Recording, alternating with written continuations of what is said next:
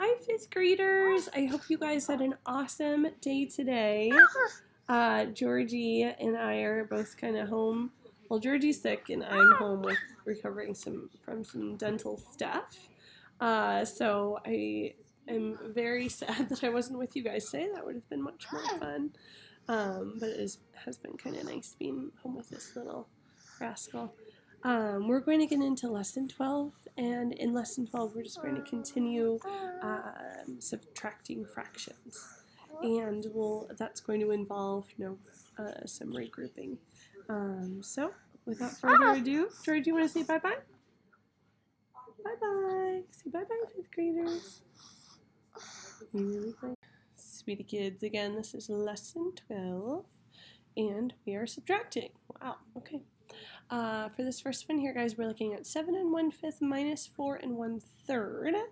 Um, let's go ahead and use this strategy um, by of just multiplying the denominators together to find a common denominator. We can do that really easily. Uh, it's 15. 5 times 3 is 15.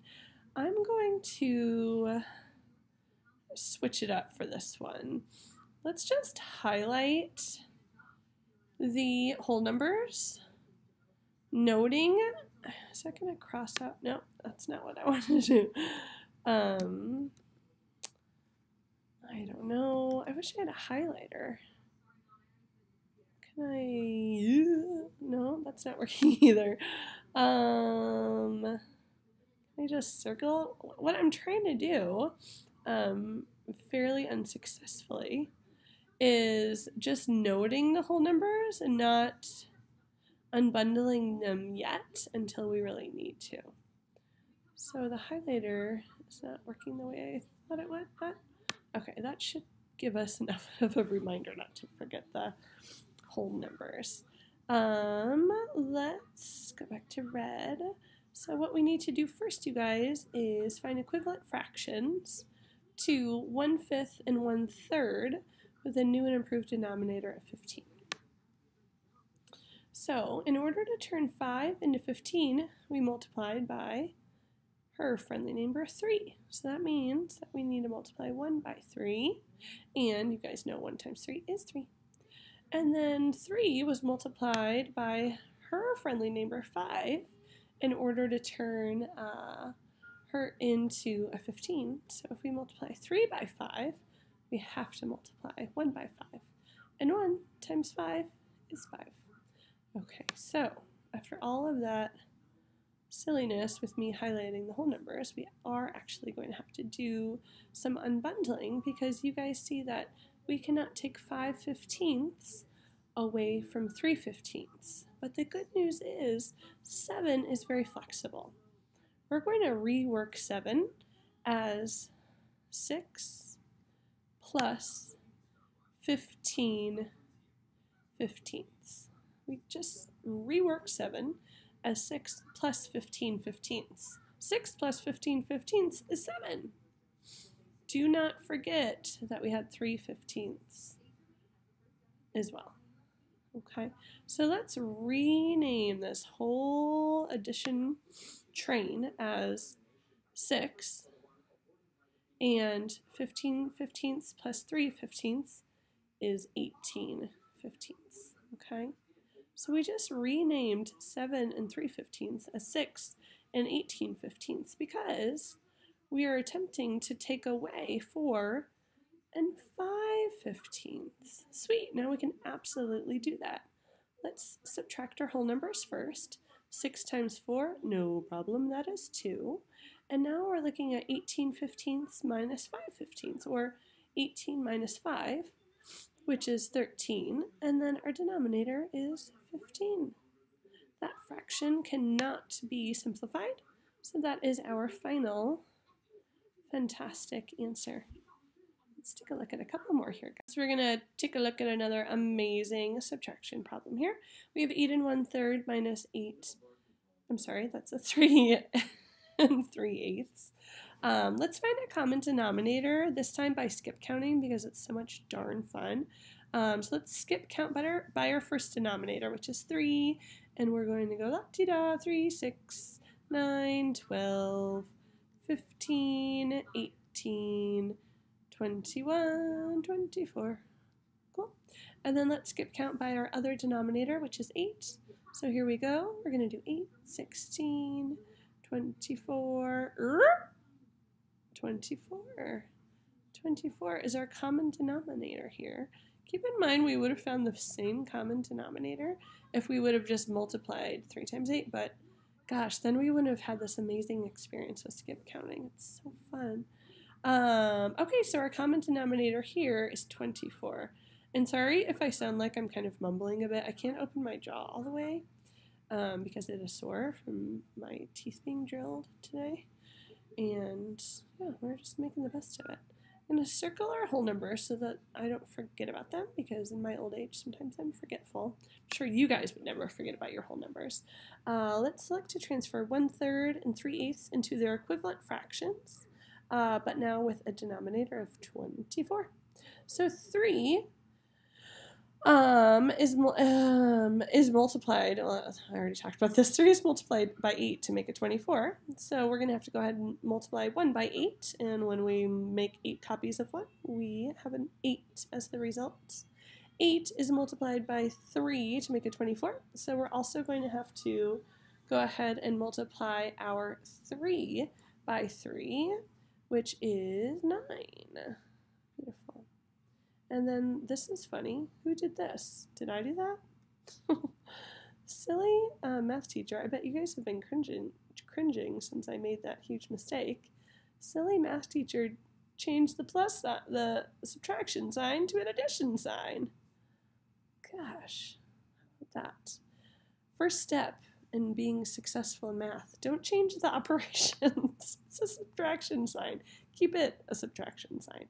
And what do you know, you guys? Here we're being asked to take 9 from 8. You can't take 9 from 8, so we're going to have to get creative. Good thing 18 is a very creative number, and number 18, ooh, I don't like the way I wrote that. That looks like 39 24th. Um, what do I do here? I, let's just subtract that again. Um, if I recall, number 18 is a very um, strategic creative problem solver.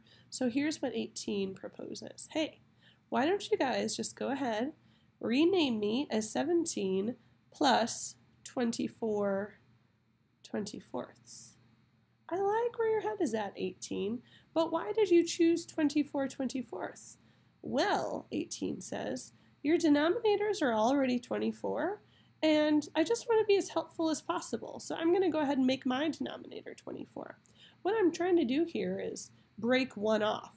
And 24 24ths is, another, is just a, a fractional name for whole number 1. So all we're looking at here, you guys, is 17 plus 1, which is 18. Don't forget to bring down whatever fraction um, that originally came with the mixed number. Otherwise, we're going to have problems see a lot of arrows here. Um, let's go ahead and rename 18 and 8 24ths as the new and improved version of itself. So our whole number is 17, and then we're looking at 24 24ths plus 8 24ths. And you guys know there ain't no shame in doing a little side addition. 4 plus 8 is 12.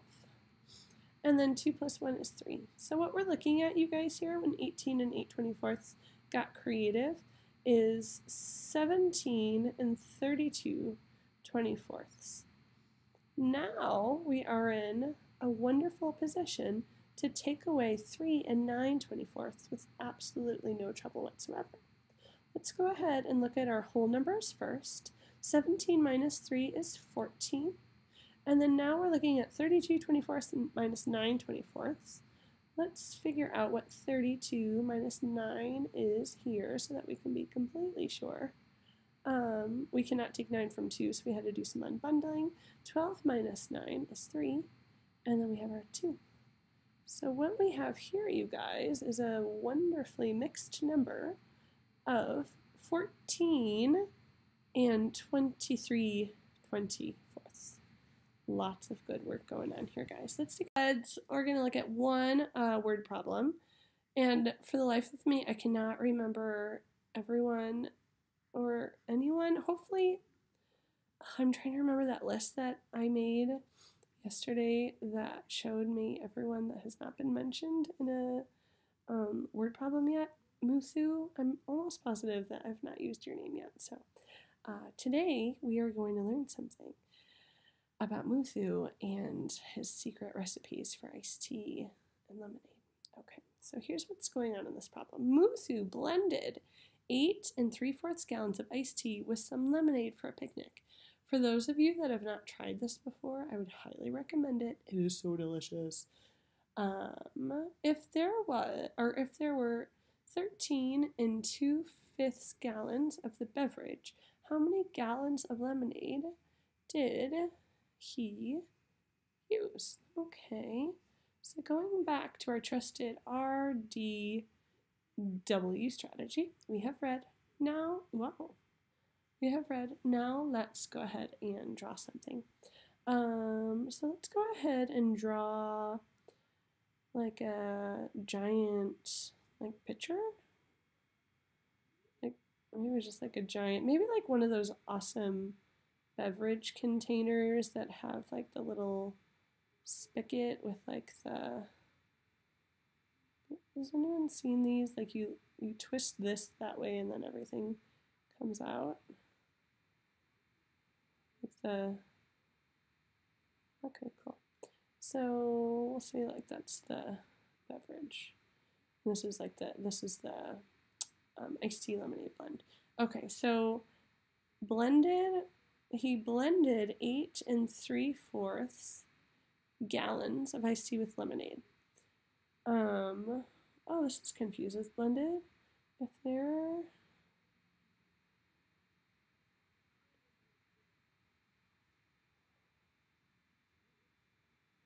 oh, oh, I see. Okay, sorry. Sorry for the awkward silence. I was just rereading the problem so that I can understand it. So it looks like what is going on here is that he blended eight and three fourths gallons of iced tea with lemonade that was already in here. So this represents the only the iced tea.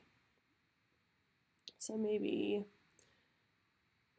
maybe this is maybe there's eight and three fourths like up to here.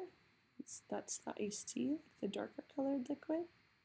And then total in the entire gigantic beverage container, there was 13 and 2 fifths gallons.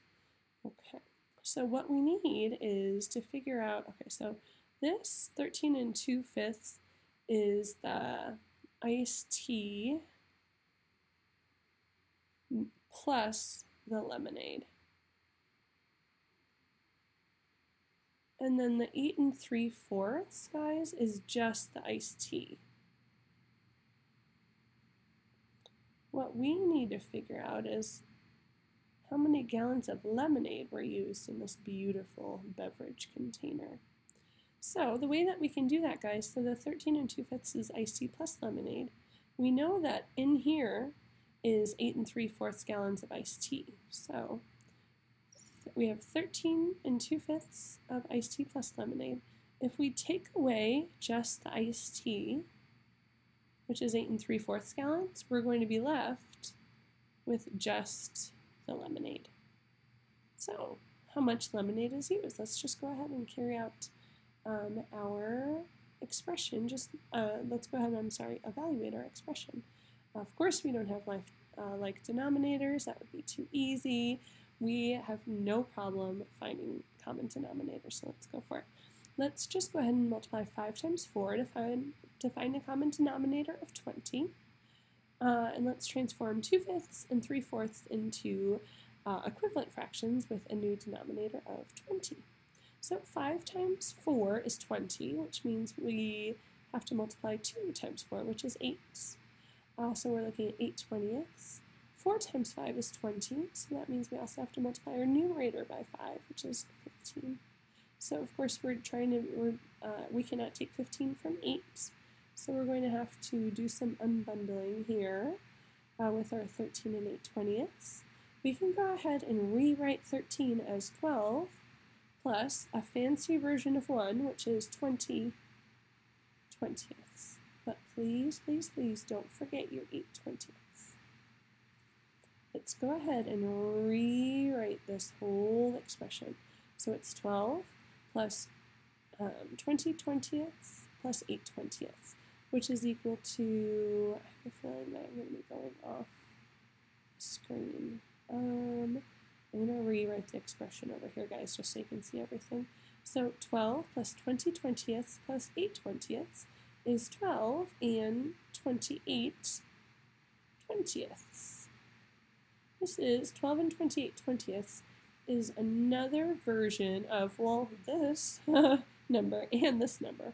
They all represent the same amount, but this version of the number is going to allow us to take away 8 and 15 twentieths. We're just reworking it. So let's go ahead and subtract our whole numbers first. 12 minus 8 is 4. And then we have 28 minus 15. I'm going to challenge myself and do it horizontally. 20 minus 10 is going to be 10. 8 minus 5 is 3, so that's going to be 13 twentieths of a gallon for our lemonade. Awesome. That sounds delicious. Our secret word, you guys, is going to be um, what did, actually there'll be a couple of secret words. What did Muthu make that was so delicious? The recipe calls for two ingredients. So these are the secret words we will check in tomorrow. Um, and I cannot wait to see you guys. Have a great afternoon, and I'll see you in the morning.